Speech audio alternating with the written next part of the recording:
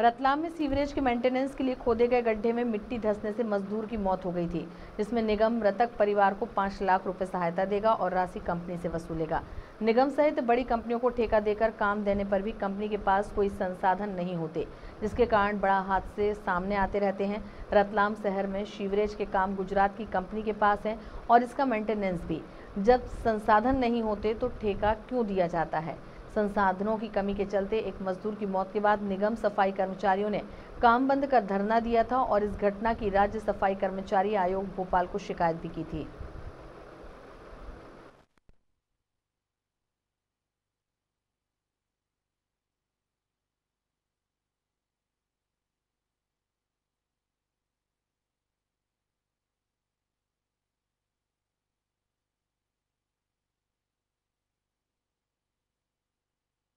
कुछ आपने इसमें जानकारी हासिल की है और किस तरह से आपने निगम अधिकारियों को निर्देश किया है?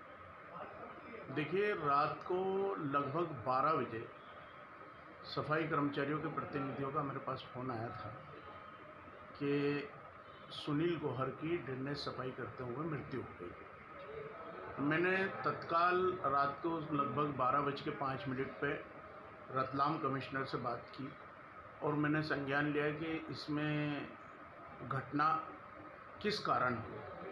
रात्रि में इन्होंने बताया था मट्टी धंसने के कारण हुई। आज रतलाम नगर निगम के महापौर जी और निगम आयुक्त और अन्य अधिकारी मेरे साथ घटनास्थल पर हम गए।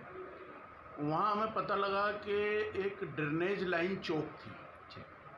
और चेम्बर से उसको खोला जा रहा था तो जेंटिंग मशीन के पाइप वहाँ अटक रहे थे, जिस जगह पे स्थान पर चौक था।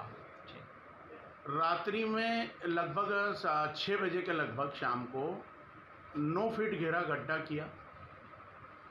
अनट्रेंड, यानी कोई प्रशिक्षित नहीं, ऐसे सफ़ाई कर्मचारियों को केवल चड्डी में नंगा पूरा नीचे उतारा। घटनास्थल की मौजूद गवाहों ने भी हमें बताया और अधिकारियों के सामने। इस प्रकार भारत सरकार का जो नियम है 2013 उस एक्ट के अंतर्गत कोई भी सफ़ाई कामगार अगर वो प्रशिक्षित नहीं है, पहला तो प्रशिक्षण देना उनको, ड्रेनेज सफ़ाई का। इन्होंने पाइप